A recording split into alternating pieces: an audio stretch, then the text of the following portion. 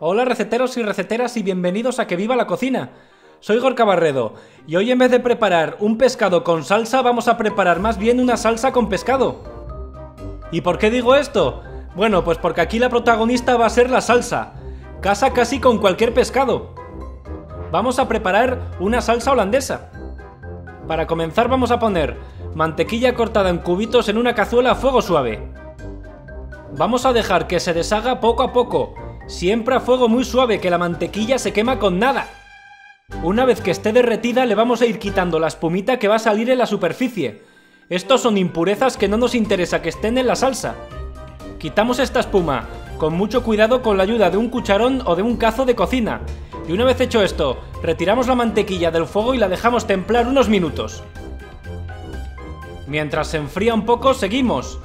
Vamos a separar la yema de la clara de unos huevos. Hay infinidad de maneras de separar la clara de la yema, pero la más típica es pasar la yema de una cáscara del huevo a la otra, dejando caer la clara. Para esta salsa solamente necesitamos las yemas. Vamos a ponerlas en un bol. Las cantidades como siempre las tienes al final del vídeo y también en la descripción. Ponemos una pizquita de sal a cada yema del huevo. Y por supuesto que no puede faltar la pimienta negra recién molida, auténtica ambrosía de los dioses griegos. Hecho esto, les damos a las yemas zapatilla de la buena y los batimos bien. Y recalco eso de batirlos bien. Para ello mejor hacerlo con una máquina, aunque también se puede hacer a mano. Lo único que tardaremos más. Lo que buscamos es que el huevo comience a espumear, incluso nos cambiará de color. Y atención que viene lo gordo. Hecho esto, vamos a ir vertiendo la mantequilla poco a poco. La vamos a ir vertiendo en hilito fino y con la otra mano, con la batidora o el tenedor, la vamos a ir integrando bien con la yema. Al final esto se parece mucho a hacer una mayonesa, pero en vez de utilizar aceite y huevo lo que utilizamos es mantequilla y huevo.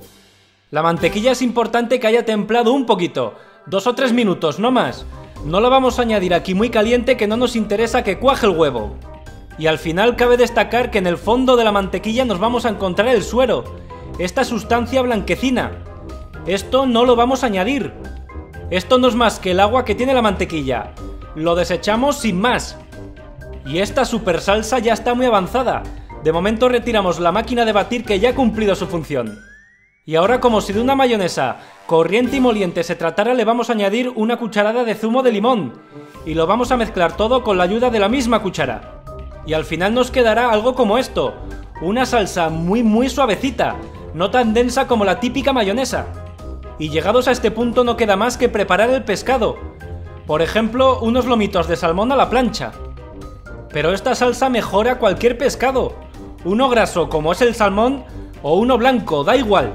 En este caso vamos a dejar cocinar a la plancha este lado del salmón durante unos 4 minutos. Es el lado de la piel, así que hay que dejarlo cocer más rato. Pasado ese tiempo le damos la vuelta a cada rodaja y cocinamos la otra cara durante 2 o 3 minutos más. Siempre a fuego muy fuerte. Y el salmón antes de añadirlo a la plancha ya estaba previamente salpimentado. Y al final, pescado en salsa holandesa. Una salsa que mejora todos los pescados. Pruébala, ya verás. Y si te gusta, dedito arriba. No te pierdas ninguna receta suscribiéndote al canal y que viva la cocina.